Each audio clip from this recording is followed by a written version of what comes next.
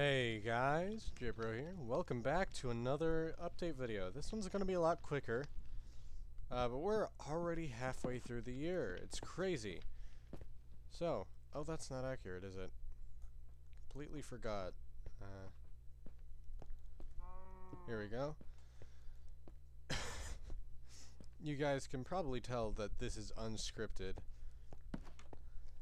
Uh, the end of this month kind of snuck up on me.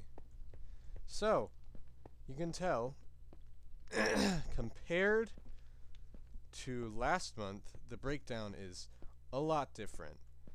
We had six whole uh, main series completed, a whopping eight eight se uh, eight weekly series, only and only two 8 p.m. series, which is quite the change up.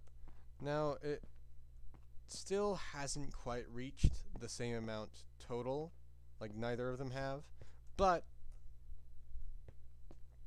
we're definitely getting here. And you can see, you know, a more isolated version of that graph. Uh, one other thing I wanted to show you is we are exactly 48% done with games. Out of the 100 games that I currently have, which that number will go up, we have finished 48. Uh, and that number will also definitely go up. We are remarkably close to a, to finishing a few games at the moment, so it's pretty likely that we'll get a couple more completions in uh, pretty soon. One last thing I wanted to look at is I wanted to go over the schedule. Now you guys have probably already grasped uh, my current schedule by now, but um, Mondays are Tears of the Kingdom, Tuesdays are Metroid Prime, Wednesdays are Sonic Frontiers, Thursdays are Yooka-Laylee, Friday is RZ, Saturday is Portal 2, Sunday is Minecraft Dungeons. I will upload Concordia videos at random. I've been doing a lot better at that recently. Uh, Paper Mario: The Thousand Year Door is coming out every other day. Uh, every day. Xenoblade Chronicles 3 and Pikmin 1 are alternating, coming out every other day.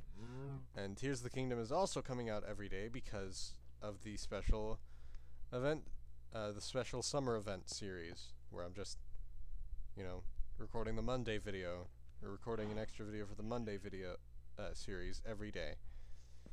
And of course, we don't have any APM series right now. Uh, but yeah, that's that's all I really wanted to show today like I said, this is a much shorter one.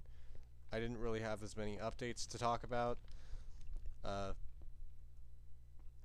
the only changes that have been going on are changes to my uh, back-end schedule due to the fact that a lot of games have been announced fairly recently and a lot of release dates have also been announced fairly recently.